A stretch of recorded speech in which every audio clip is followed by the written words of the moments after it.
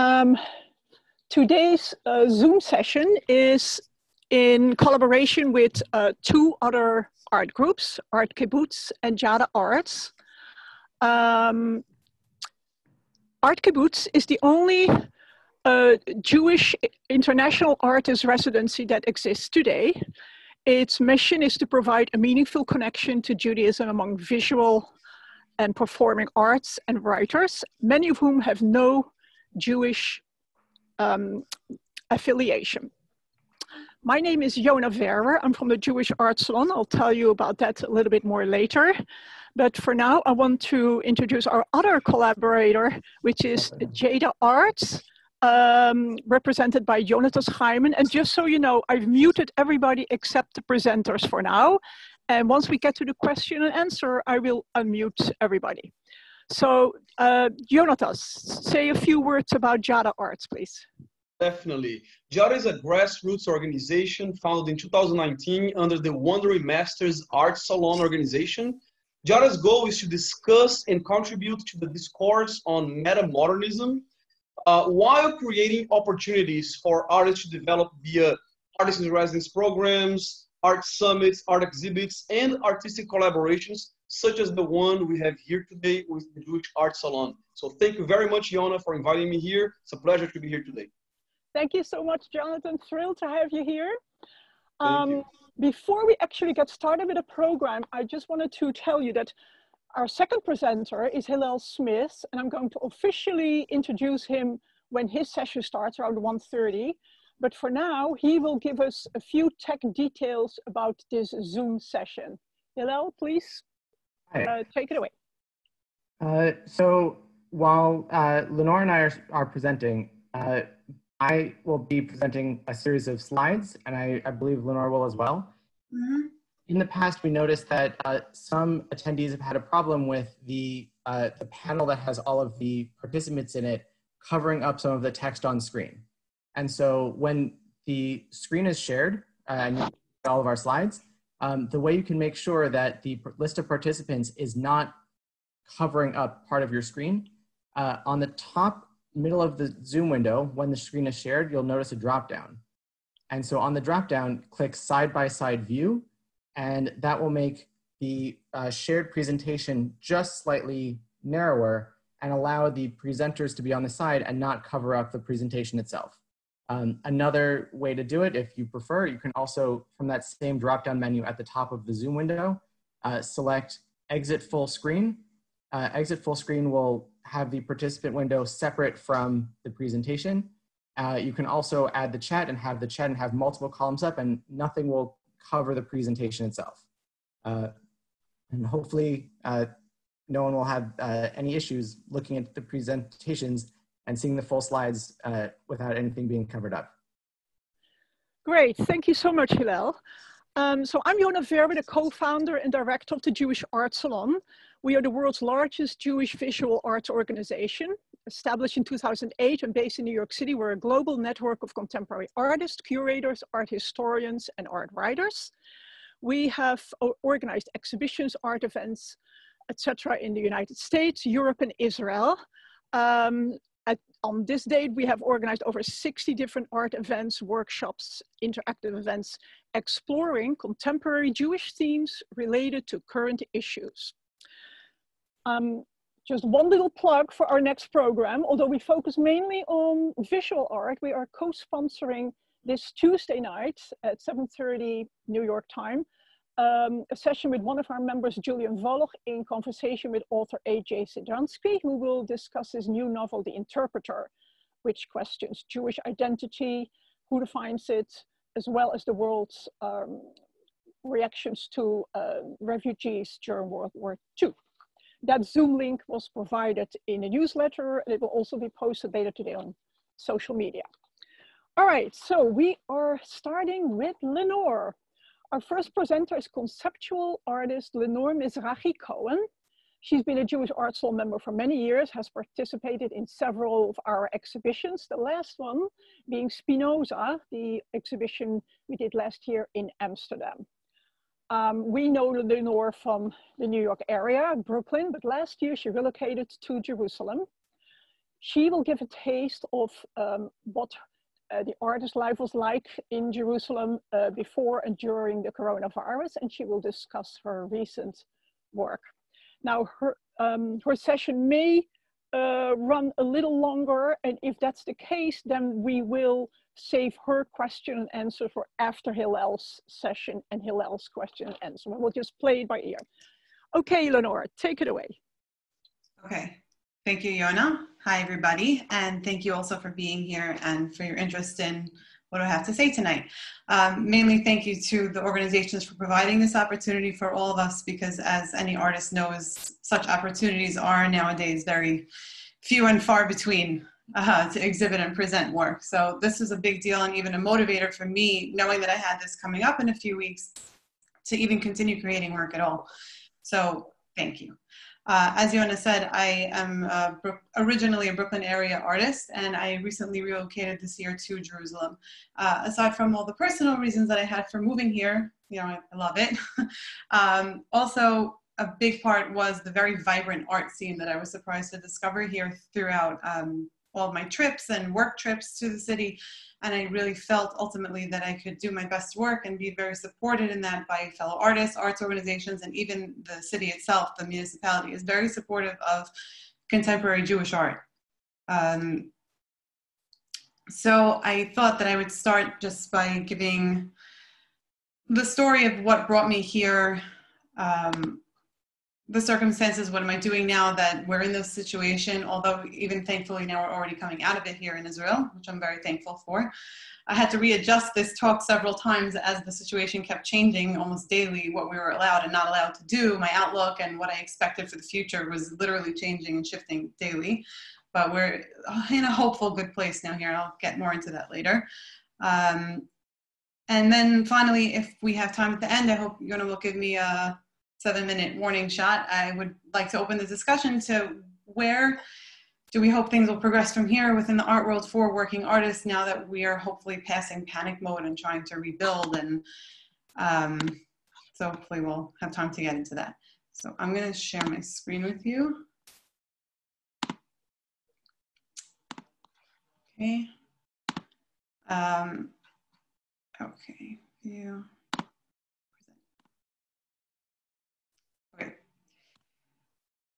So this is a very happy picture of me in Jerusalem in 2017. Uh, this was the first time that my work, once I made a conceptual work and not only decorative, got its first real exposure. And prior to this experience creating and producing a show that participated in the Jerusalem Biennale, I actually had a residency with them the year prior, which introduced me to many important organizations within the Jerusalem art scene. And that ultimately really inspired me to make a move to Jerusalem. Um, just the fact that the Biennale even exists is a big deal, I think, for contemporary Jew Jewish artists around the world because it gives us a place to aspire to send our work and it inspires me to keep creating it. So, um, sorry.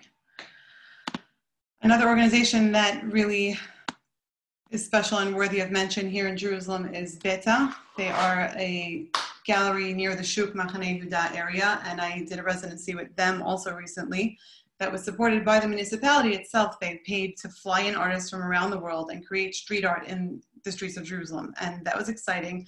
This space is uh, an alternative artist space in that they completely reinvent the space every show that's mounted. Their curator, Avital Wexler, uh, is visionary in that way and helping artists realize their their visions and they have workshops in the upstairs floor carpentry uh, workshop in the back it's just like one of these quirky unique spaces in jerusalem that i was very pleasantly dis- surprised to discover I, I didn't see the likes of that in new york and i felt that it was exciting that there was existed an institution that would be interested in the same topics as I was, that I could come to with my ideas and have a hope of actually having exposure for them, which again is in the New York art scene, it, it's such a vast universe full of so many voices and trying to find a foothold in it can be challenging at times. Not that it's not possible, but um, for me and the type of work that I do, that this was this was exciting to discover.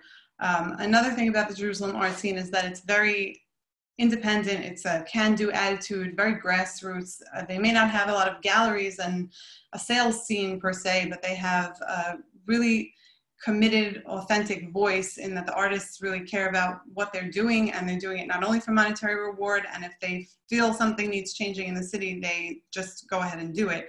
Uh, this organization that I would draw your attention to here, Muslala, was a group of artists who cared about the environment and uh, earth art. They took over the roof of an abandoned building in the city center and refurbished the whole thing on their own piece of wood by piece of wood until they made it into an artist hub, which also has plantings and sculptures on the roof, and they do events throughout the city. And again, just this exciting, there's always something happening, there's always something new to get involved in, and it's very welcoming and open. And so that's why I moved to Israel. And I waited many years to be able to come and finally make this move. Um, the last organization that I'll mention because I'm involved with them now is Studio of Her Own. They started as an organization to support uh, women artists from religious backgrounds specifically who they felt were not getting a lot of exposure in the contemporary art world and they eventually expanded to become a center, a hub for women of all backgrounds working in contemporary Jewish art all over Israel. They are the only women's artists collective in Israel. And what I found to be unique to them and in the world, the way I discovered them was I was searching for residency programs that I could join as a young mother artist several years ago. And they popped up because they had this unique feature where they wanted to bring in resident artists, but also with their children and have provisions made for people that needed to think about housing for a family that would have to come with them. And I that was really exciting to me because, you know, at that crossroads time where you first have kids and you think, well, can I even still viably do my job? And you see something like this and it tells you you know you can fully invest in both areas of your life. You don't have to put one in the box in order to fully flourish in the other. And there is something out there for you. That was really important to my development as an artist. Even if i didn't have anything to do with them because it was always watching from afar um, they run shows with women from all backgrounds and religions too they had an embroidery show with palestinian artists uh, two years ago this year, they were granted a building by the municipality in order to really ramp up their operations, and that's part of my story too, and we'll get back into it after. Um, before, right before I left, I had a solo show at Black Diamond Gallery in Williamsburg, which I'm mentioning because I didn't want to make it seem like there is an opportunity for work like mine to be shown in Brooklyn and in New York. Um, I really enjoyed my time there as an artist. I just felt it was time to move on. Um, I'm just going to quickly skip through this because I do want to have time to get into the Corona stuff. So here we moved to Israel in August and we hit the ground running with the art stuff. I was so excited. I finally made it. I've been waiting years to come here and get involved in this really vibrant, active art scene. And Hillel Smith, who you'll have the pleasure of hearing from soon, organized this Jewish street art festival that participated in the 2019 Jerusalem Biennale. I was really excited to be a part of that. And um, I met some great artists, all the things that I was looking forward to doing once I got here, I got to do immediately, which was also something of a challenge having moved countries less than a month before and all the associated um, craziness that comes with that. But pushed through anyway, had some great experiences when this is me uh, working on a lift for the first time. That was pretty terrifying, but ultimately uh, a lot of fun, very satisfying. Uh, this is Chutzot HaYotzer. It's a famous artist colony street right outside the old city walls and all the artists participating in the show gave their take on a day of creation. So most of my work draws from the visual language of the Islamic world. Uh, being a Syrian descent myself, I, I, draw heavily from my heritage as a Syrian Jew in most of my work. Uh, so even when I'm doing something floral, I try and pull from imagery from that area because it's really what speaks to me the most and I use it here. uh, a big part of my work involves Arabic calligraphy as well, and this is also a part of the Jerusalem Biennale 2020, uh, 2019 show that we did. This is the Schechter Institute.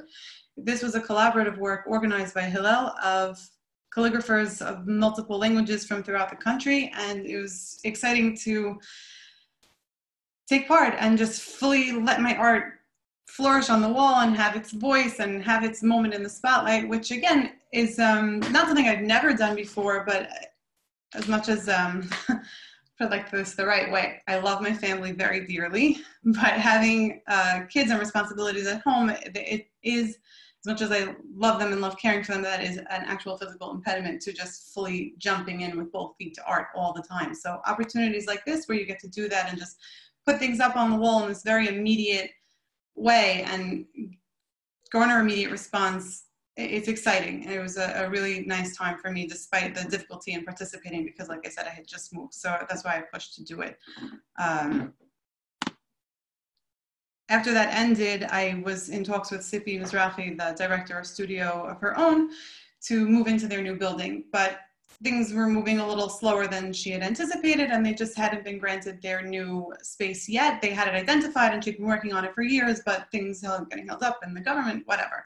Said okay it's out of my hands. This is something i'm very practiced at doing is waiting and finding uh, ways to have creativity in just smaller snippets of time in little ways if you're not in a situation to full-fledgedly let it flow so I spent time, I said, I'm going to lean into what I can do, which is um, take stock of my surroundings, get used to where I am. And another reason for moving to Israel is that it's just so visually appealing and beautiful and special. So I, something I do when I don't have an ongoing project is I'll do walkabouts and just draw architecturally interesting buildings that are around. And there's plenty of opportunity for that. This is in Jerusalem. This is the old city, the Hurva synagogue in the Jewish quarter.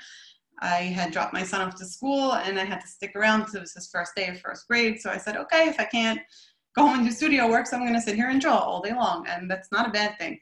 Um, just like shifting and pivoting and then finding ways to create in the small margins of time that are available to you, which I think served me well ultimately in Corona times, something that I had to get used to in real life anyway.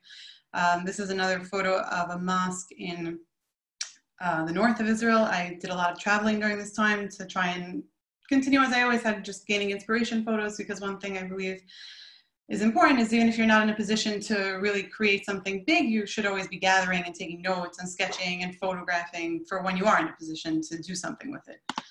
Um, another thing I really enjoyed doing during this time was going around the city and revisiting some of my older street art works. These are works that I made uh, during that residency with Beta Gallery in the Nachlaot Shuk area. Just really helped me feel comfortable in the surroundings and not feeling so much like a fish out of water as um, like I wrote here, like a homecoming. So um, I also took small commissions at home and working from home again is something that I was used to doing, even though not happily, admittedly. I, have had studios before, and for years now, it wasn't practical. And I was really looking forward to finally moving into a proper studio space. But in the meantime, I did these paper cut artworks. I sketched again for things that were going to be upcoming, calligraphy for things that were going to be relevant later. Um, finally, move-in day came after months of hold up and waiting. And as you can see, this studio space is a dream. Um, there's closets here that are bigger than closets I've ever had in my in my home. Um, when you're used to working at your kitchen table and cleaning up and setting up every time you want to do something and you know that it's limiting your thinking, coming into a space like this can be really liberating and exciting in in knowing that your creativity has its room to play. Artist playtime is important for developing ideas, at least in my practice. And this was one of the best days for me this year was moving my stuff in. This is the gallery space in Studio Michelin. They replace their shows every one to two months and all their curators are working women and you can find them on Facebook for more info on all the things that they do, but they're really incredible. It's just this really welcoming, inviting space. This is the, if you can see, if I'm not blocking, this is the garden space on the side, uh, very ripe for street art. I'm about to do something here in the next month, hopefully uh, like I said, things are starting to open up. Thank God. So this is my car, bringing in my supplies. Finally organizing supplies in an actual closet for once ever. this is like the silly little things. They're very exciting and big deal to me. This is Sippy, the director, putting up the mezuzah in the new space uh, the first day that it was open. Just a really exciting time. It's like the culmination of the waiting and the preparing and like, wow, we've arrived, we're here. So let's, again, hit the ground running. Let's do all we can, right? Um, one of the first things I did in this space was just lay down this massive canvas on the floor. It's taller than me and stretch it. Not even because I had something to do with it yet, but I just needed, felt the need to do something big. So this is larger than I am and it's in the studio now. I stretched it. I started taking on commissions from um, more high profile clients. This is a paper cut that I did on commission for one of the more well-known builders of modern Jerusalem. They're called the Achim Chassid brothers, and they are responsible for much of the changing skyline in Jerusalem. And so this artwork is comprised of many buildings that they themselves created. I also had access to bigger and better tools. Uh, light is really important in my work, and there was this massive light box that came with the studio, so I set right into using that. Uh, this is the atrium of Bar Ilan University. I was invited there by one of the department heads who's supposedly still, I don't know, because of Corona, um, they were commissioning me to do a trilingual calligraphy mural in their entryway of the Judaic Studies Middle East Department, an Arabic, English, and Hebrew mural that I started to sketch.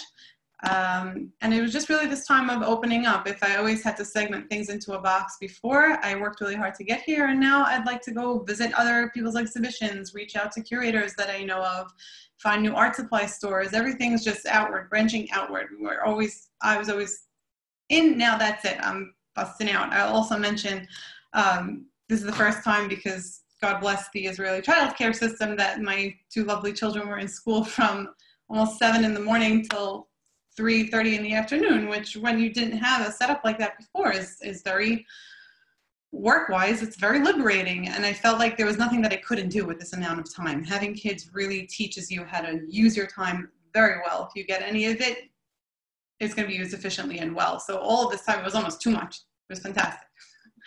Um, I started experimenting with new materials or bringing ideas from the back burner that I had always been thinking of and just never had the space or time to play with.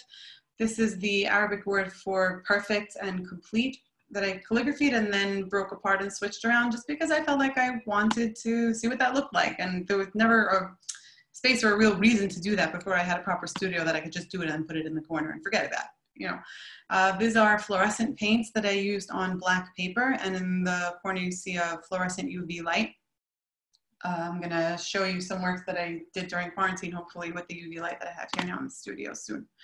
Uh, this time was great for my career, but very tumultuous on the personal side because when you move countries, that is associated with a lot of difficulty, things not going the way you planned, things that are difficult to settle into, and especially in Israel, where uh, Hillel can attest, things don't always work exactly the way that you expected them to. Um, so I started this series that my working title for it right now is um, Night Terrors or Let's Face It. Uh, basically, I felt that this is something that almost everybody probably experiences, or maybe only people with hyperactive brains like mine, that especially in the nighttime hours when there are no more distractions and there's no hiding from your own thoughts, that you have these nagging thoughts or running um, doubts or anxieties that just won't let you sleep and they won't let you alone. You can't stop thinking them, even if you know that they aren't true. So everyone has these things that keep them up at night. And I said, I realized a long time ago that my most effective art is going to be the stuff that is really important to me, which usually is about heritage and cultural shift and the aftershocks of things like forced expulsion. That's what most of my previous work was about. But if right now this is what's going on in my life and this is what I'm feeling most deeply, then I should probably dive right into it and make art about that, which was a funny new experience for me because I never really made art that was about my personal life before. It was always more about global topics that are important, obviously, to everyone.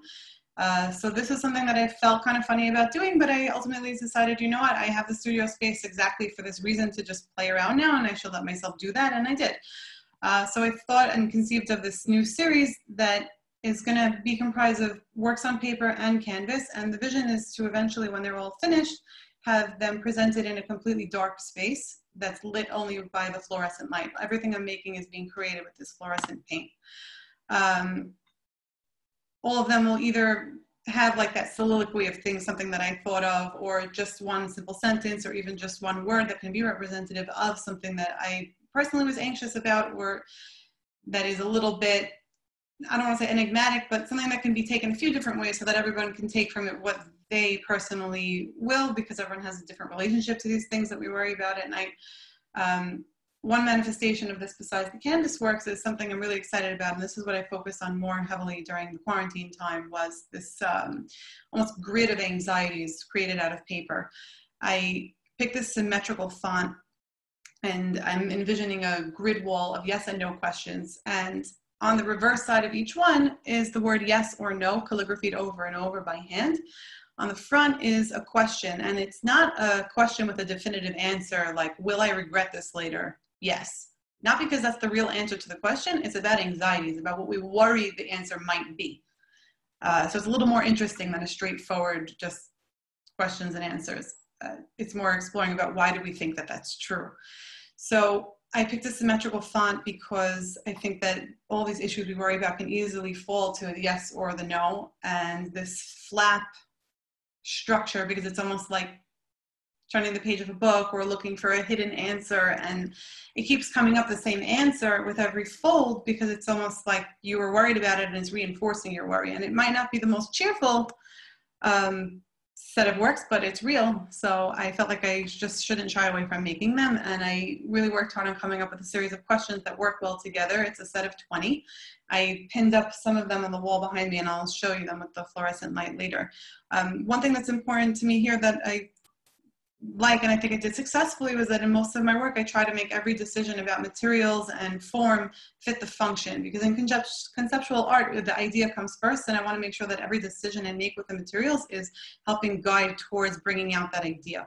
So I really felt that everything down to the symmetrical font, the folds, and even the colors was an important uh, pinpointed choice. I chose these fluorescent colors and this um, style, not only because we have these spots at night and the gallery will be dark and then these will be lit up, but also because I think when we think about neon and fluorescence, we think maybe about the 80s and this cheerful, fun, peppy thing. Um, and in this context, it's almost like a leering at you, like a lurid, false cheeriness that's like taunting you almost, like you're worried about something. Well, you should be.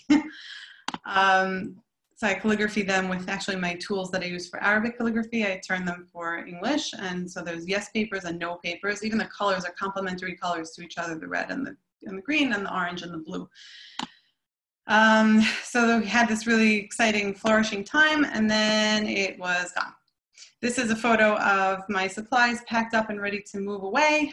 Um, maybe I got to work in the studio three or four times until it became clear that they were going to order everyone to stay at home. And it wasn't clear how long that situation would continue, whether I would be able to access the studio or not. And I just turned around and as hard as it was for me to accept this and do this, I said, even though I've been waiting for years to have this space, if I'm not going to be able to access it in my materials and I could be at home for the next six months or a year, like who knows what's even happening? It changes every day. So I'm going to have to move it back out. I can't not touch art for a year. I'll lose my mind. So I packed everything right back up and away it went uh, back home. I took my laundry room and my guest my guest room and I stacked everything to the side because obviously we're not having guests anytime soon and I made it the art room. These are my special guest collaborators. Um, it's really cute and nice to involve them in the art process, but of course moments like this, you know, 30 minute stretches till the nagging starts. So I did my best to include them and obviously being at home with the whole family i don't have to tell you guys because uh, no matter what your family looks like i'm sure everybody experienced this that all the things you thought you might do in quarantine kind of have to be put aside in most circumstances because it's more important to keep everybody in the family happy healthy whole and not insane. So most of the time I tried to involve them if I wanted to work just so that we could all happily do something together. As you can see, they're quite young, so it didn't always work out, but I did my best. And that was another thing about this whole quarantine period was accepting that we're just in crazy times. It's not an ideal situation and whatever we can do, we can do, and that has to be good enough. Uh, so this is the room I'm sitting in right now, and you can see my gallery wall my kids' work. I, I introduced them to the concept of doing that and then they couldn't stop. So they were putting up new things every three minutes. My stuff's all over the floor. It, it's just obviously not an ideal situation, but I was very grateful that I did have a room that I could get messy in and, and spread out in at all. Um, so that even in the snippets of time I was still getting, I could still do some work. Um, I did not make much progress or headway, but again, I did something, so that's an accomplishment. Um, I also learned that experimenting and playing can happen in different ways and reminded myself of things that I knew from before that helped me get through this time was that even if it's not directed at a specific project at this time, you should still keep your hand practiced and keep your mind focused on things that you think are artistically viable, important. And so I did a lot of Arabic calligraphy practice. I experimented with watercolor outside. The rain did a lot of this accidentally, but I like the effect. Uh, one of my favorite days of quarantine was when I literally blockaded the kitchen with furniture so the kids couldn't reach me. I turned off my brain to everyone else and ignored them all day. Again, not something you can do every day, but I did it once. Uh, I spent seven hours on that ladder filling in finally this mural that I had conceived of in back in September. And it just sat there uh, penciled in for all this time because there was always somewhere else to go, something else to do, somewhere else to run. And I guess I could thank quarantine for that, that it encouraged me to finally paint it in and finish it. And now I get to enjoy it every day. Um, whether it's going to remind me to actually say this blessing after meals, the jury is still out. So far, no, but that was the original intent. Um, here, I just wanted to also take pause to show, I'm sure that you experience the same thing in your cities, the total bizarreness of all these public spaces being devoid of people. Um, here is one of my favorite features of the Jerusalem art scene from before is the notice boards. It's like the original Facebook wall, except an actual wall. And these are really updated. They're all throughout Jerusalem. And I always used to love passing by them and seeing these different events, festivals, concerts, symposiums, lectures, just on and on and on. There was no shortage of things to do. It was almost like Manhattan in that sense. And it was even if you didn't get to everything, it just made me happy to see it. And this is the same notice board during Corona time. It's got mostly advertisements for hospitals and hotlines for if you're having medical emergencies and all the events have obviously been canceled and pasted over. Excuse uh, me, Lenore. Uh, yeah. This is the seven minute mark. Okay, so I will just quickly go through the rest. Um, did my walkabout drawings to help keep me sane. this is the bridge spanning the Hinnom Valley, which is outside of the old city near my house. And this is walls in the old city. We weren't really allowed to leave the house except for grocery shopping. And I was pretty nervous while I did these, even though I was wearing a mask, because you can't really pretend you're on the way to the grocery if you are sitting with an open sketchbook. But um, thankfully, I didn't get stopped. Nothing happened. It was fine. And I had to do this for mental escape because even as it was a tease, having all the art supplies at home, knowing that you're not really going to use much of them, you sometimes had to go in and use it just so you could breathe mentally. Um, so I made this slide here to help get a discussion started with our last five minutes. I, I would like to talk about like the lessons and takeaways from this time because in Jerusalem we are starting to come out of it. Um, all the arts funding has been canceled for the rest of the year, but the municipality just all, um, announced a new artist opportunity and contest to put their work in the in the mayor's in the mayor's residence. Uh, the studio of her own organization that I'm working with reopened their doors, and I hope to move back in in soon. That's the biggest uh, thing to celebrate. And they also started finding again, because the arts funding is canceled, the director was mentioning to me, for example, that now they can be less limited in format and what they want to present. So that's a plus there. People are being creative about ways to have shows that are collaborative between artists, even as they're only allowed to have a certain amount of people in the space at a time. There's a show that she just announced, the director, where all the member artists are going to have 24 hours to do what they want in the building, and that show will be up for two months after it's done. Um, for me personally, I learned through this time not to get too hung up on every little change because they're going to change again. And sometimes there's nothing we can do about what's going on and we just have to do our best. Um, but at the same time, if you have something that you really need, that you have to be almost militant in insisting that it happens, like locking myself in the studio and working. Um,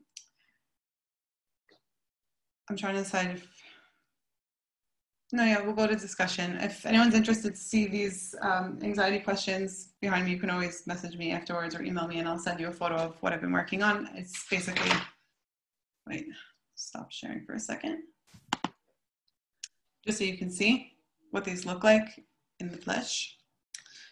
The cut paper. Um, I have a fluorescent light here. I guess it would be silly if I didn't use it for a second and then we'll open to discussion. Just because I'm excited about it, it is the only thing that I did this entire time.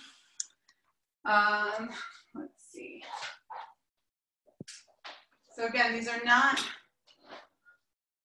these are not necessarily a definitive question and answer. It's more about what you worry they might be. And you can see, even without the fine detail of being here in person, that the effect is really special. It's exciting. And being confronted with an entire gallery full of things like this, it would be overwhelming, but I think in a good way. So I put up some of my favorites here um, if you can see, can people tell? You know, not all of them are about a direct specific issue. Some of them are open-ended and mean a different thing to each person that reads them, which was my goal. Uh, am I doing my best? That's a no question. Am I giving my child anxiety? Yes. Am I giving my child enough? No. Will I regret this later? Yes. Will it ever work right? No. Um, and again, it could be anything. It's your work-life balance. It's your dishwasher that keeps breaking. Um, I'm excited to see where that series will continue when I have the chance to now continue it in large. Um, why don't we unmute everybody and just like open it to questions or anything anyone else wants to say about how they think things might change now that we're coming out of this. Partial check. Good. High 20. Fertilizer high. Can I ask a question? It's yes, please. Hi, I'm Julia. I, I live in Colorado in the United States. You're pretty full. Is it coming back? Hold on one second, because there's a lot of feedback from other people. So I'm going to mute everybody again. And then, Julia, if you could unmute yourself. And then anyone after Julia who wants to ask a question, you know, unmute yourself. Julia, are you able to unmute yourself? Yes, can you Okay, hear me? great. Yeah. Great. Okay, um, Lenore, I just want to introduce myself. I'm Julia, and this was a wonderful presentation, and I can relate to many, many things you said about trying to balance family and little kids and the sh- shutdown.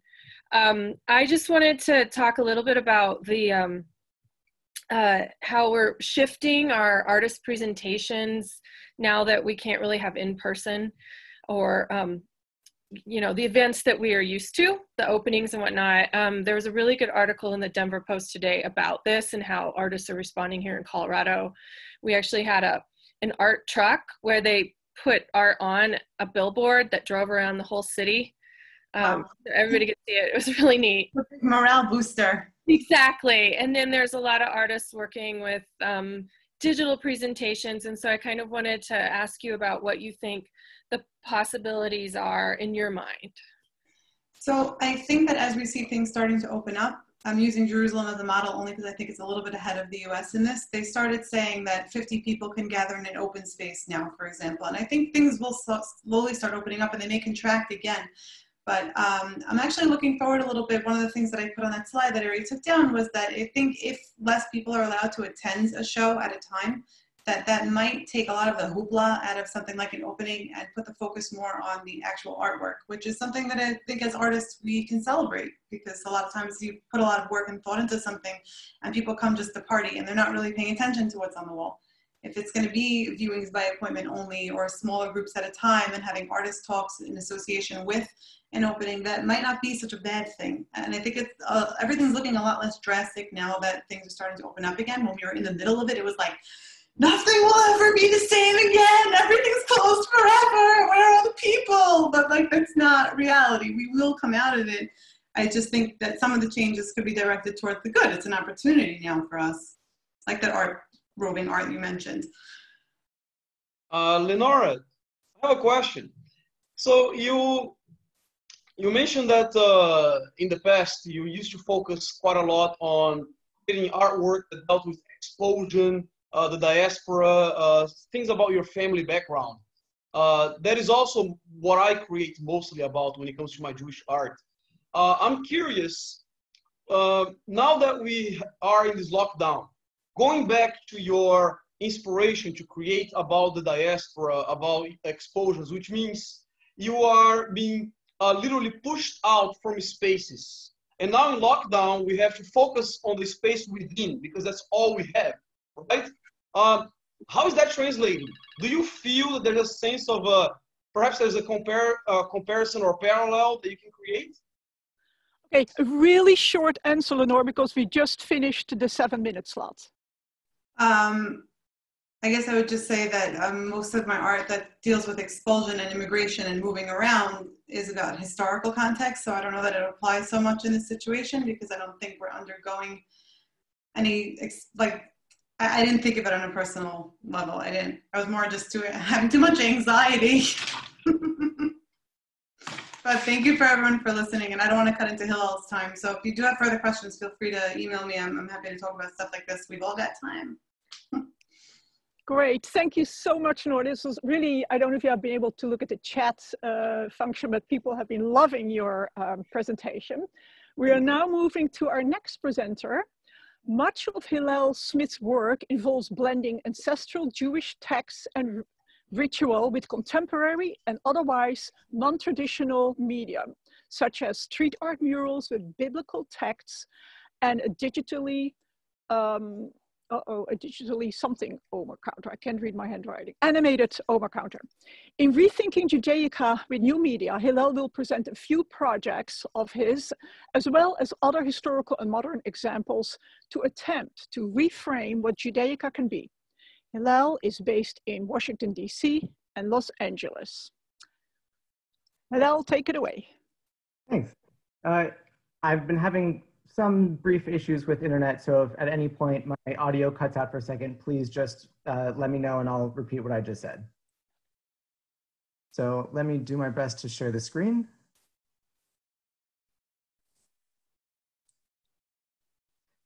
So what I want to talk about is uh, a bit about my work and how I approach this. And so when we think about uh, what Judaica is, I think Judaica typically can refer to uh, ritual objects. That includes things that we use for the practice of Jewish rituals. So here, candlesticks, um, also Jewish books, and then also decorative wall art that has very clear Jewish content uh, that goes along with it, maybe possibly some kind of uh, Jewish function uh, in the home um, or another kind of display space.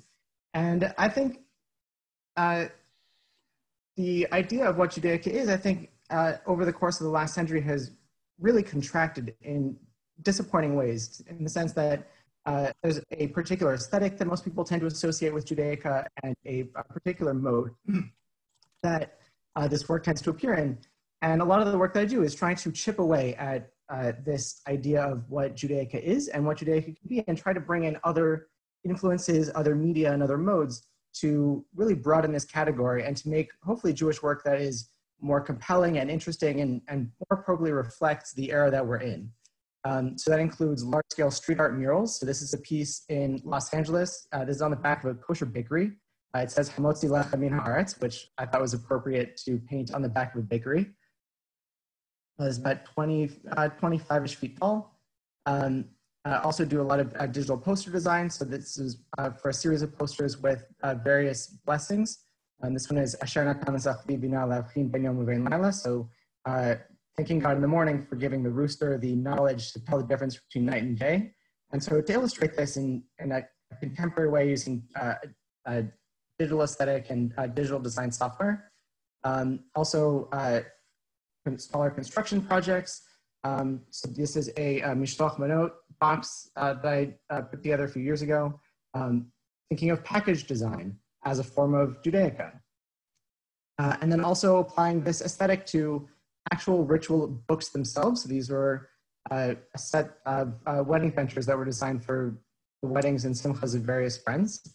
Um, and to, again, take this aesthetic out of uh, contemporary graphic design and apply it to Jewish ritual and, and Jewish meaning.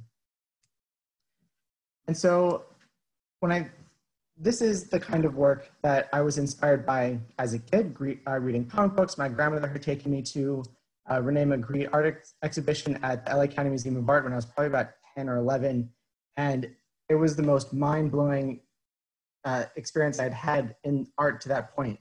Um, and also growing up in Los Angeles, the ubiquity of street art and this the way that uh, art really colors the city. Um, and thinking about how art can interact with the viewer and how art can uh, approach the viewer at in different ways and uh, in different experiences. And so uh, Mordechai Rosenstein was really the first Jewish artist that I had been exposed to that had an aesthetic that appealed to me based on, uh, as you can see, what my influences were. Um, and someone who had thought about how to deconstruct um, this idea of what uh, you know, Jewish decorative wall art is, um, but applying his own very unique aesthetic to biblical text and uh, making very, uh, I think, easily accessible ritual objects, um, but in a style that I had never seen done elsewhere. And so this is a project of mine.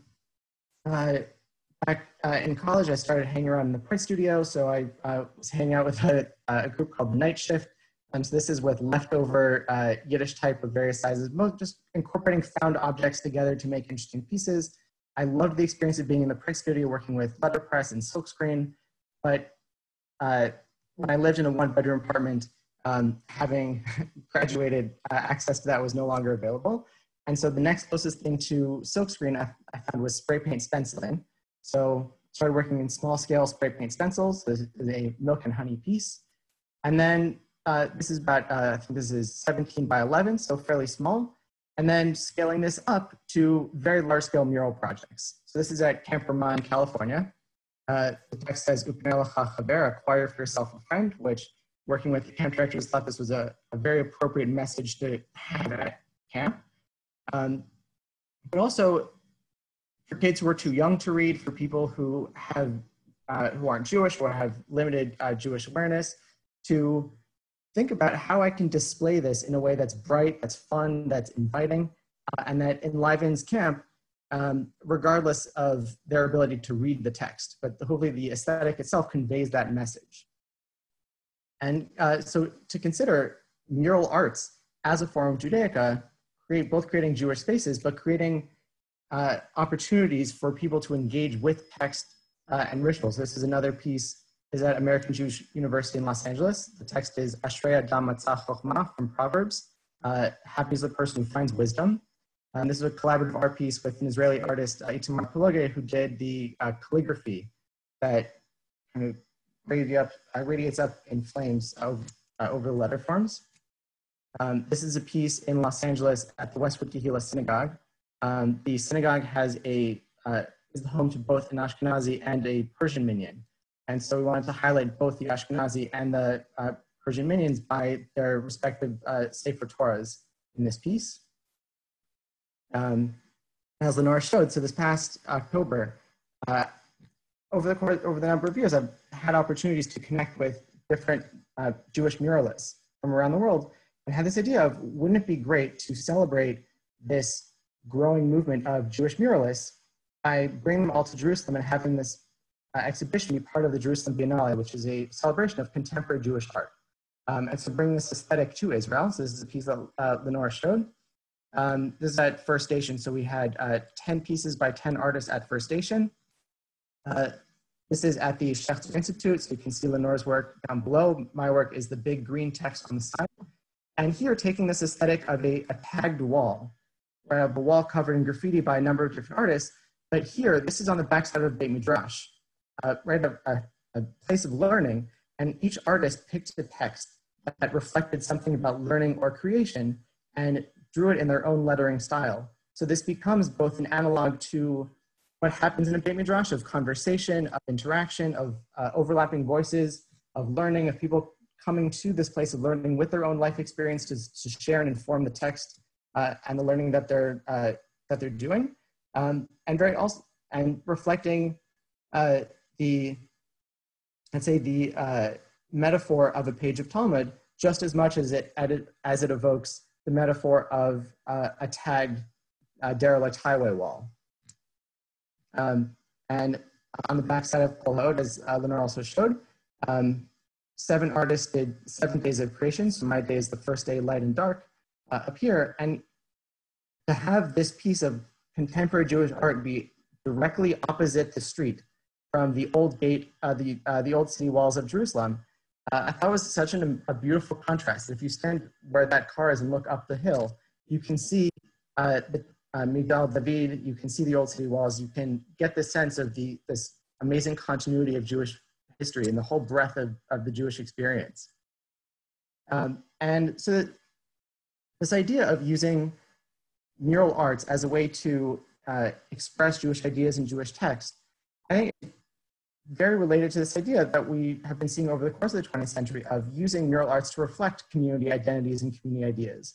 So growing up in Los Angeles in East LA, um, which is an area that is uh, very significantly populated by people from uh, Central and South America, um, the mural arts there reflect the origins of those communities. Um, and the same is true when you go to Little Tokyo with the Japanese influenced pieces uh, on uh, in downtown Los Angeles, um, in South Los Angeles with the African American inspired pieces. And so using that aesthetic and that mentality as a jumping off point to create Jewish work uh, felt very appropriate. And this idea of using these archetypes from uh, other communities to inform Jewish work is not a new thing. So going back to the Middle Ages, uh, the Christians were putting together illuminated manuscripts, and the Jews looked at those illuminated manuscripts and reproduced them in very direct ways. You can see here, this is a uh, this is the Ashkenazi Haggadah. Um, they're not only uh, reproducing the idea of an illustrated manuscript, there's a dropped capital in the Hebrew, right? These are people who's, there's not drop capitals in, in Hebrew, but they're using this aesthetic to inform the work because this is a way to venerate Jewish text in a, in a, uh, a visual language that they know. Um, and we also see that in some cases, the uh, Jewish communities use the other art forms as a jumping off point. So uh, here you have a carpet page from uh, Haggadah from Spain, clearly referencing uh, Islamic art forms, but then inventing this brand new art form of micrographic art and calligraphy to you know, use this mode of aesthetic and create something that's very new and very Jewish, specifically out of this. Um, and we often think of Judaica as something that can only be done by you know, uh, professionals, but that's not also not the case. Um, in 18th century Germany, having uh, pewter plates was a nice decorative thing you could have in the home. Because pewter is a soft metal, you can etch it or uh, emboss it to your will. And so Jews saw this, thought it was a great idea, would also buy these, uh, these pewter plates.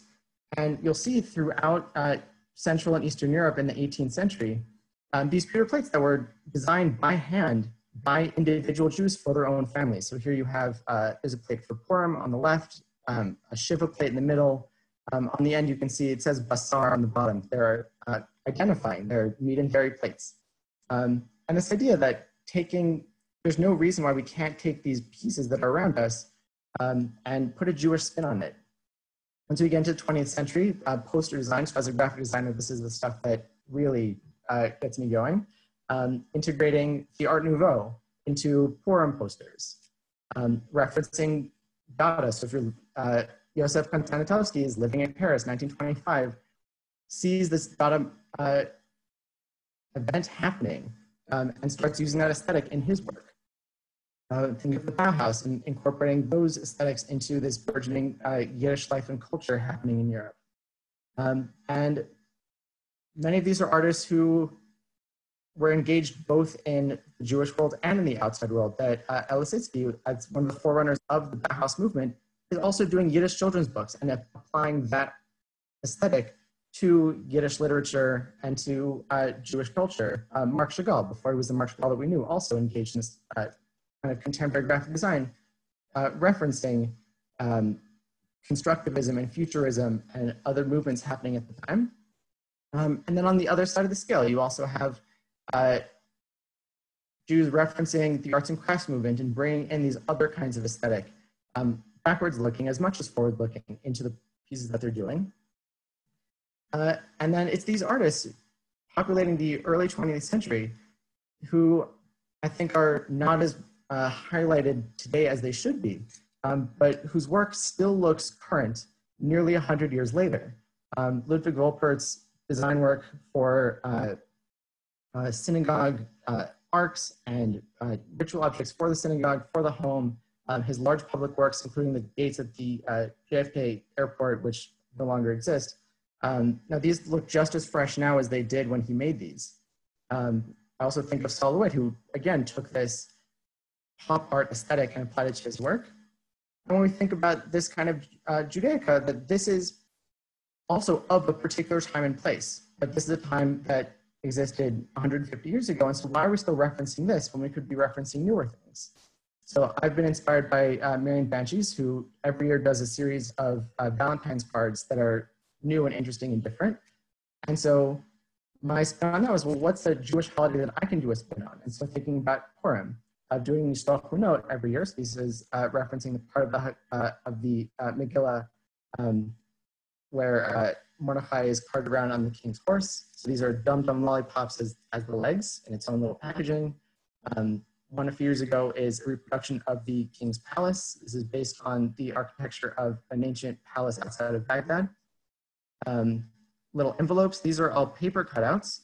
Um, that text is actually fruit roll, uh, uh, fruit by the foot, sorry, that's uh, behind the open cutouts to uh, give the color. So the, the, idea of sending gifts of food, mishloach manot, so you're sending food. So it would be great to put it in an envelope. Um, this is a couple years ago. So this is, uh, you'll see Mordechai wearing the king's crown, Haman his three-corner hat. The whole point of Purim is Benahafilchu, everything was turned upside down. So the entire box is rotationally symmetrical so that Mordechai turns into Haman when the box turns upside down. Um, the text as well is an ambigram that flips over. Um, this is this year's, so referencing uh, these harem windows um, that we think of and uh, all kinds of architecture all across the uh, Middle East and uh, South Asia. Um, so inside there's candy, a little, uh, a little balloon light. When the balloon light is placed on top, the light shine, shines out the windows. When you look at it from above, um, these shadows from the windows spell out Happy Purim on the tabletop.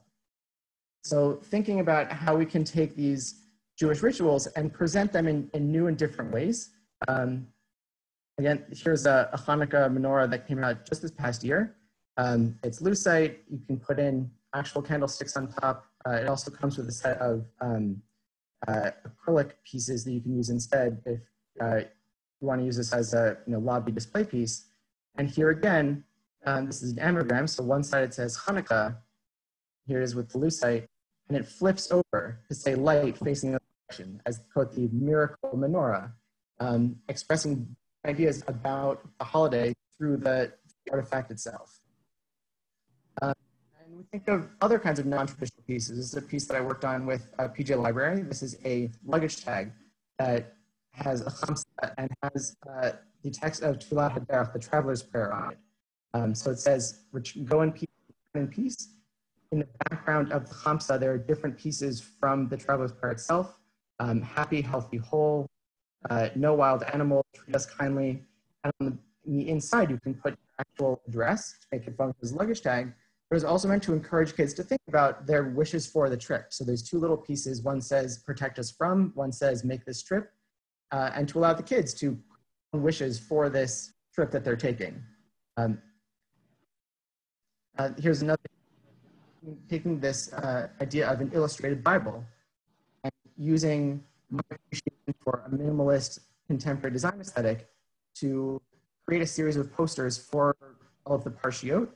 Um, also indulging my love of typography. So each poster, one for each parsha, so 54 altogether. Um, each one incorporates the name of the parsha in the design and expresses something about uh, my take, my visual midrash on that week's parsha. So if we look at Noah um, on the top second from the left, so you have a water droplet, it says Noach Nun Chet, but then in the droplet, you'll see in the negative space the ark. Um, there's the Mount Ararat uh, on the top uh, above the Chet. Um, next to it, you have uh, so the story of Joseph and uh, his coat. So it starts off with the coat, the yellow stripes spell out Vayeshev, um, and the this parsha ends with Joseph in prison. And so uh, that's nodded to with his hands holding you know, the bars um, and the implication of that, it's this coat that sets the entire story in motion. Um, and so again, to use this visual aesthetic in this contemporary media to create a new form of, uh, I would say, biblical based art. Um, paper cutting we think of as a traditional Jewish art form. And so here again, I try to think, how can I put my spin on this? So we already saw the, um, the uh, three-dimensional paper cut pieces that I was working on before. Um, and then also think of how can I use uh, my love of typography and uh, bold colors to put this together. So these are multi-layer paper cuts, um, spelling Asian mimes. These are machine cut um, to get really perfect registration between each one um, and to create a piece that has depth um, that works a lot better in three dimensions. And then other artists who uh, who I think are doing work that I find to be interesting in this way that can achieve this uh, common purpose of being uh, Jewishly uh, connected, but also very, very much uh, rooted in the contemporary world. Um, Isaac Ben Yair who's actually, I, I, believe, speaking right now at a different presentation, um, sees comic book art as a Jewish art form and blends that with his paper cut work. Um, I also love this incorporation of the found objects. Um, I know Fran is watching because I saw her face earlier. So uh, again, using found objects, in this case salt and pepper shakers, um, to create new, interesting, and whimsical uh, ritual objects. Um, and also adding in humor. So Arik Weiss, um, who uh, presents a lot at uh, the Jerusalem Biennale and at Kol HaOt, which uh, helped us put together that series of seven days of creation murals in Jerusalem, um, adding a sense of whimsy and humor with this. So here you have sterling silver Kiddush cup that looks like a, a go coffee cup. Um, and using contemporary design to create new uh, Jewish books.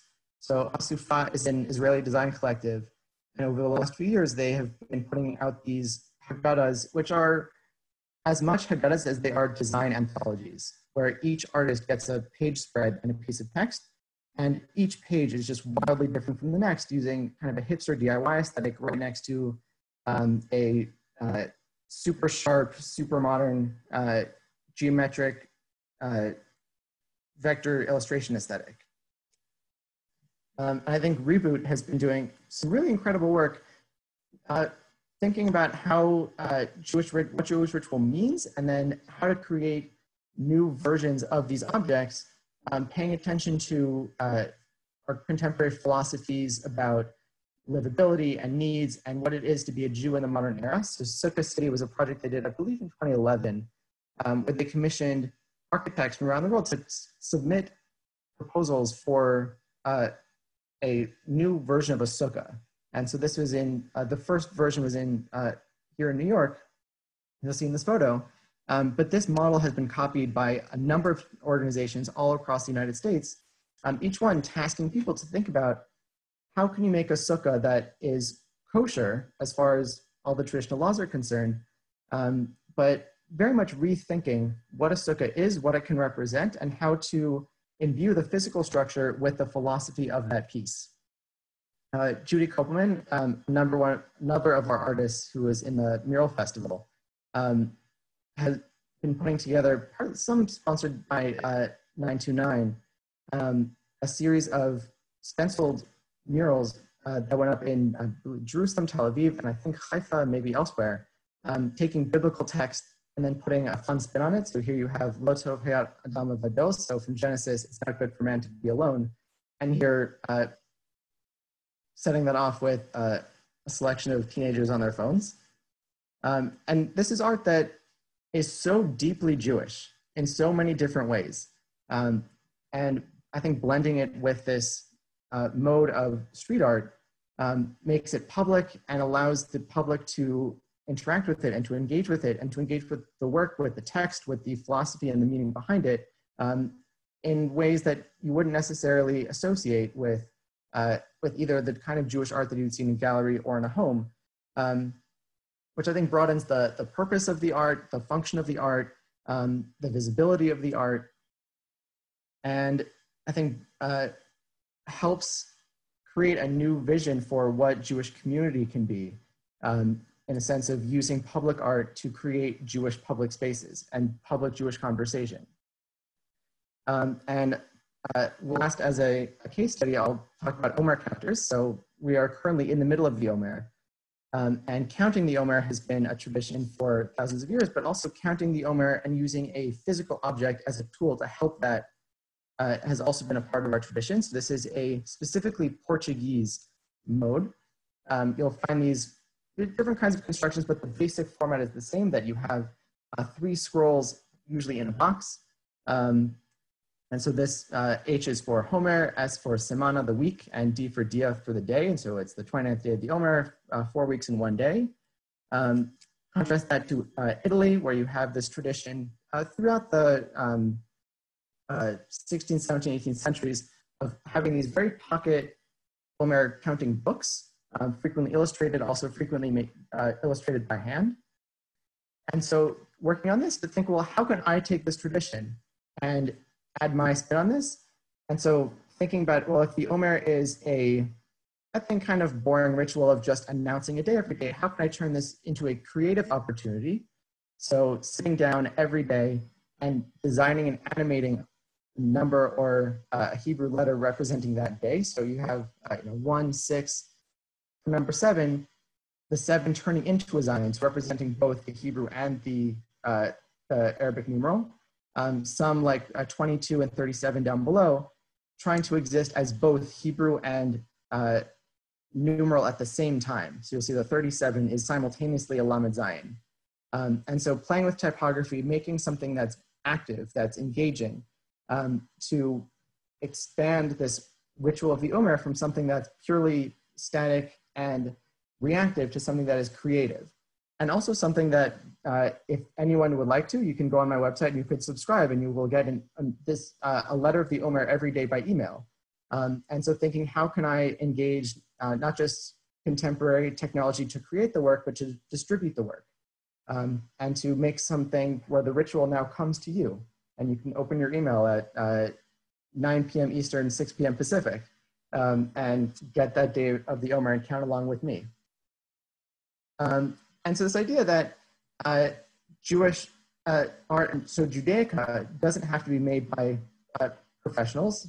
Um, that here's a, a, laser cut Omer counter you can find on Etsy, which I think is really geniusly put together. Um, this is one of my favorites, Josh Rosenberg's Pop the Omer. So it's, uh, you can print this out at home and then just put your own sheet of bubble, uh, bubble wrap on top of it and pop the day of the Omer that you're on. Um, and I think this also speaks to this uh, divide between art and craft that we uh, often in, the art world that there's this condescension from the fine artists against the craft, uh, craftspeople against uh, you know uh, fine art painting versus illustration as commercial work. And I, I think that Judaica allows us to in, indulge in this idea of craft and uh, commercial work because this, these are projects that are meant to be used. These aren't meant to be to go on walls. These aren't conceptual in the way that you go in, you think about it, you ponder it, that these are meant to be used and engaged with um, and interacted with in a way that's very real uh, and very, uh, know, very traditional in a sense. Um, and so I hope that uh, we can now we're going into the you know the next phase of the future, uh, hopefully post coronavirus, um, to think about how do we engage with our families, how do we engage with our communities, how do we engage with you know God, how do we engage with ourselves, with the technology that we have available to us, and continue making Judaica and Jewish work and Jewish objects that connect us both to our past as much as they connect us to our present and the world around us. Um, and if anyone has any questions, uh, I would love to, to speak a little bit more about it. First of all, Hillel, thank you so much. It's been fascinating, and I will send you the chats to you and Lenore. You can both then read at your leisure all the you know comments uh, and compliments. Um, to everybody else, if you want to ask a question, please unmute yourself, but only if you are planning to speak. Thank you.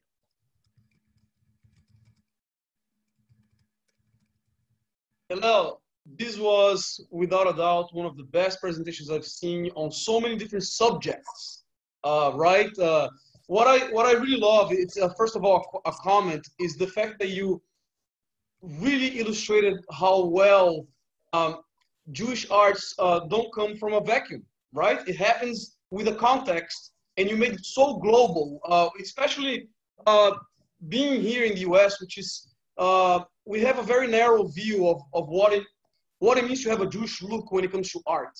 And uh, I know one of the goals of everybody here is to change this perception. And you did that in such an amazing way. Thank you so much for this. I don't have a question. I just wanted to say Hazaku Baruch. Thank you so much. Thanks. Yeah, I, that's exactly the, what I'm trying to. Um, that there seems to be this impression that Jewish work has to look a certain way. That we have uh, this idea that uh, Judaica should be Baroque silver or filigree or a certain set of materials and illustration um, that is both not only uh, historically inaccurate, but also very limiting. Um, and to think of how broad we can make this if we encouraged everyone to take the aesthetics that are meaningful to them and what connects them to you know the you know the beauty and, and creativity uh, of everyone else in the world and to bring that into their jewish life uh, as well and to decorate their home with it in a way that doesn't have to fight with the other kinds of contemporary work that we want to decorate our homes with. Hillel, I'd like to um, first of all say thank you.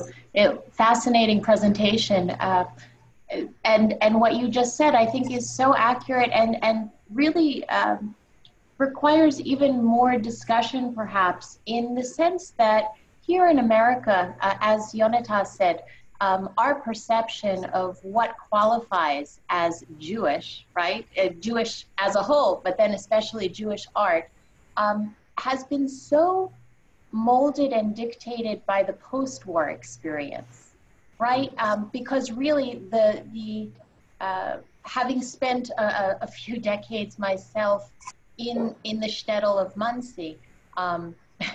As a Balas Shuva, and that's a whole different discussion, right? Because that's also something that's come out of this post-war experience. Um, but but it really has informed a whole different view of what existed before, and that view is in fact very much warped. And yeah. and I give you tremendous credit for bringing in those sources let's say, of the Omer, because there is this notion at this point in the American Jewish community, and especially in um, those who identify as normative orthodoxy, right? Um, sort of the gatekeepers of tradition as a whole, in at least in the view of the world, right? And and the the known aesthetics that you brought into your discussion like aren't even being seen anymore or referenced with with such accuracy. And so i really just want to applaud you for doing that and say thank you for reminding us you know i know yonatas has a, a very specific mission in um, sort of identifying us as, as we wander through the diaspora and and serving that legacy of weaving these threads right that we all bring. But i really just i appreciate what you brought to to the table today. So thank you Oh, thank you very much. And I, I just see in the comments right now uh, from Holly Markoff, who saw me present at the uh, Richmond JCC, one of the things that I love doing when I travel around the country and present at JCCs and, and other institutions is to present a history of Jewish design and Jewish art because we, I think we have lost so much of this awareness of what happened. And one of the eras that's um, most interesting to me is this period from, I'd say, about 1890 to 1930, where you have Jews who are recently emancipated, who are thinking about what does it mean to be Jews in the modern era, and also as full citizens of all of the countries that we are now full citizens of in, uh, in Germany and Austria and France and England and, uh, and Poland. And if we are the you know, best and brightest of Warsaw and Odessa and Paris, how do we show that through our work and how do we engage with it? Um, and all of these, I think, largely forgotten artists um, from this period, I think, whose work 100 years ago still looks relevant, still looks current, still looks, you know, beautiful. Um, and so to, to share some of that wealth, because this is all of our heritage. Uh, Yes, and I, I would, oh, sorry, go ahead. I'm, I was just going to say, and in addition to that, sort of the usurping by the Eastern Europeans of pretty much you know, like Eastern European Jewry has the market, right, on, on the history. Yeah. Right? So, so not much of the Mizrahi history really gets known in the greater world. Yeah, very true. Can I say something? Hi. Um, I'm, my name is Esty uh, Kreisman. Um, I really enjoyed your presentation. And I wanted to ask if you you started out as a as a graphic designer because your your work, uh, your, the way you uh, look at the text and and the the, the letters, you uh, not as an absolute. Like an olive is always an olive, but it's not really. It's it's something else. It's a it's not an absolute. I, I, I identify very much with your work because I started out also as a graphic designer, um, and it affects everything that I do. And I see it the way you, you you, you take it also.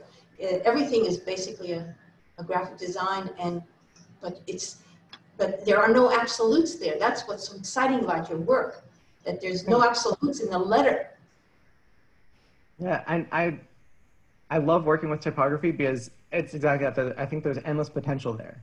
That when and we think about how to represent you know, a landscape or a building or a person, um, you're starting with a, a, certain kind of visual representation and to make sure that your um, the representation is accurate, the likeness is accurate, or and then use that as a jumping off point for stylization. I think when you're working with letters to start with, you begin from a point of complete and total abstraction, and to then work backwards and say, well, if this is the this is the skeleton for what a letter is, and this is a skeleton for what you know, a word could look like, or uh, the building blocks of an alphabet.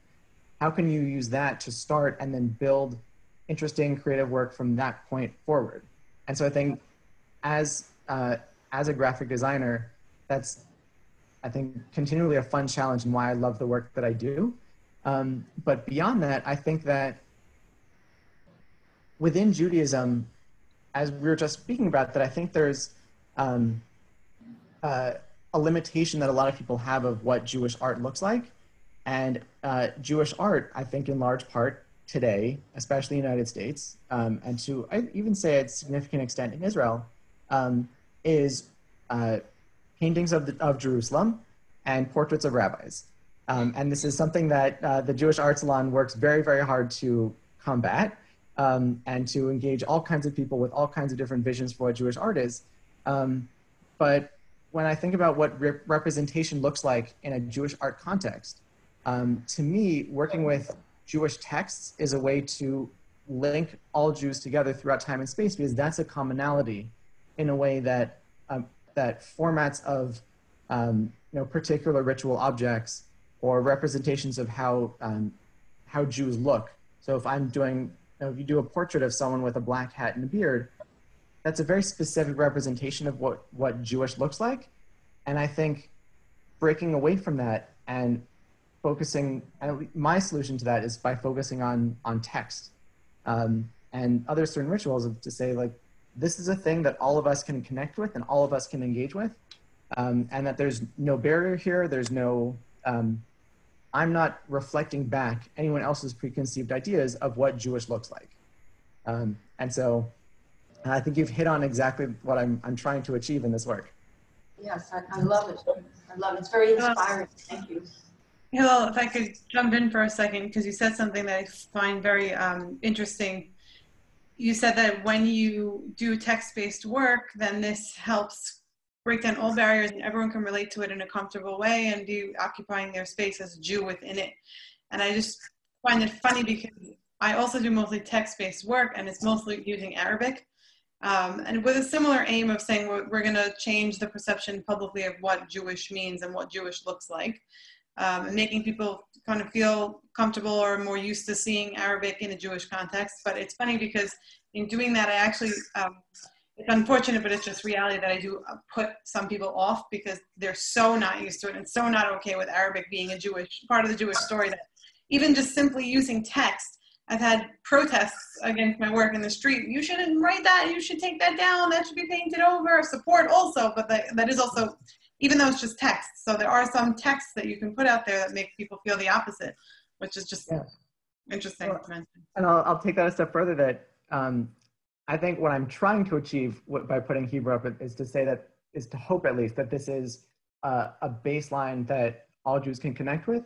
But I have painted, pe- uh, have painted pieces in places where the level of Jewish knowledge is low and um, the people in charge of those spaces were concerned that doing something in Hebrew was off could be off-putting to people. crazy. right, to people who might feel self-conscious about um, not being able to understand the work, um, or to think that um, making specifically and ostentatiously Jewish work um, by making something large format, large, super large scale in Hebrew in a public space is exclusionary of people who are not Jewish at all um, which I find totally bizarre, especially as someone from a, uh, a multicultural city of why are other people allowed to do this? It's almost like every other uh, every other community is allowed to be like, we're here and we're proud of it and this is what we are and everyone enjoy and we're presenting ourselves except not Jews ever. Exactly. Like, so, ah, I'm not, I'm not though. yeah, and so part of the idea is to is to put the Hebrew in front of them to say that I don't care if you can read this, every piece that I've done in Hebrew has a key on it that has in much more legible Hebrew and also next to it in translation what the piece is of to make sure that there's barriers to entry. but then also to confront them with the Hebrew and to think that, oh, this isn't scary, that this is here, that these are also people that I can engage with, that I can have a conversation with, that I can acknowledge as being my neighbors and my, uh, you know, my co-citizens in this city um, and in this world. And so to use art as that bridge to connect people and cultures in a way that And it, uh, and it becomes an educational tool because you need the translation and you it's like a whole, it's not